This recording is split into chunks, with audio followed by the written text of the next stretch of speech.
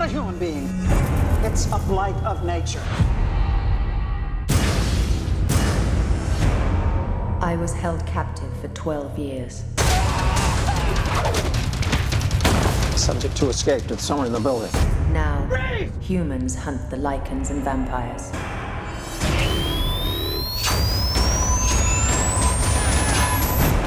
This is a new war. I used to hear stories of the Death Dealers. That they were a thing of the past, never to return. I don't recognize this world. We've lived safely for years, and now you've brought humans into this covenant. We stand and we fight.